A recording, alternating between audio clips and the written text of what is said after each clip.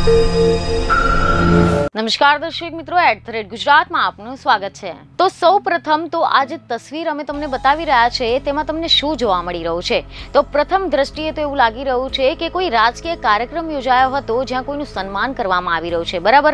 અને એ પણ ખ્યાલ આવી ગયો હશે કે આ કોઈ ભાજપના નેતાઓનો જાહેર કાર્યક્રમ છે, પરંતુ આ બધાની પાછળ તમને એક પોલીસ કર્મી પણ ઉભેલો જોવા મળે છે. અને આનાથી આગળ હવે અમે તમને કશું જ નથી કહી રહ્યા, પરંતુ હવે આ તસવીર, ઇન્ટરનેટ અને સોશિયલ મીડિયા પર વાયરલ થતા ઘણું બધું કહી ગઈ છે. જેને લઈને મીડિયા રિપોર્ટ મુજબ જાણવા મળી રહ્યું છે કે આ તસવીર વાયરલ થયાની સાથે જ ભાજપના નેતાઓ જાહેર કાર્યક્રમોમાં પોલીસનું અપમાન કરતા હોવાનો કોંગ્રેસે આક્ષેપ કર્યો છે. એટલે કે જ્યાં એક તરફ ભાજપના નેતાઓનું ઠાઠમાઠથી સ્વાગત થઈ રહ્યું છે, ત્યાં જ બીજી તરફ જનતાના રક્ષક કે જેનું કામ જનતાની સેવા કરવાનું છે, તે પોલીસ કર્મી આ કાર્યક્રમમાં નેતાઓના સન્માન માટે હાથમાં ટ્રેમાં ફૂલો લઈને ઉભેલા જોવા મળે છે. અને હવે જો આ ઘટના વિશે આપણે વિગતવાર વાત કરીએ તો મીડિયા અહેવાલ અનુસાર જાણવા મળી રહ્યું છે કે ડાંગ જિલ્લામાં યોજાયેલ એક સરકારી કાર્યક્રમમાં પોલીસ કર્મી પૂર્વ કેબિનેટ મંત્રી ગણપતસિંહ વસાવાની બાજુમાં ટ્રે લઈને ઉભેલા દેખાય છે અને આ ફોટો સોશિયલ મીડિયામાં વાયરલ થયો છે જેનાથી ભાજપ નેતાઓ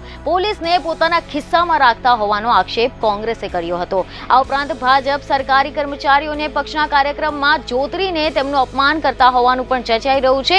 ત્યારે મીડિયા રિપોર્ટ મુજબ આ બાબતે કોંગ્રેસ પ્રવક્તા ડોક્ટર મનીષ દોશીએ જણાવ્યું કે ડાંગ જિલ્લામાં ગાય ગોઠણ ગામે પ્રધાનમંત્રી આવાસ યોજનાના લાભાર્થીઓ માટે આ કાર્યક્રમનું આયોજન કરવામાં આવ્યું હતું, જેમાં પૂર્વ કેબિનેટ મંત્રી ગણપતસિંહ વસાવા કાર્યક્રમમાં હાજર રહ્યા હતા અને ત્યારે પોલીસ કર્મી ખાખીની મર્યાદાને નેવે મૂકીને નેતાઓની સેવામાં જોતરાઈ જાય છે અને તેઓ ટ્રે પકડીને નેતાના બાજુમાં ઊભા રહે છે જોકે પોલીસનું કામ સમાજની સેવા અને સમાજની રક્ષા કરવાનું છે, ન કે નેતાઓના બાજુમાં ટ્રે લઈને ઊભા રહેવાનું છે. તમે જણાવી દઈએ કે આ ફોટો સોશિયલ મીડિયામાં વાયરલ થતાની સાથે જ પોલીસનું મનોબળ પણ ઓછું થઈ ગયું હોય તેવું પણ ચર્ચાઈ રહ્યું છે.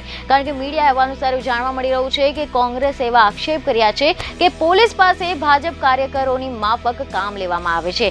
જેથી કોંગ્રેસ પક્ષ પોલીસનું સન્માન જાળવવા માટે આવી ઘટનાનો વિરોધ કરશે. જેમાં ગૃહ રાજ્યમંત્રી હર્ષ સંઘવીને પૂછવામાં આવશે કે પોલીસ કર્મીનું અપમાન શા માટે કરવામાં આવે છે.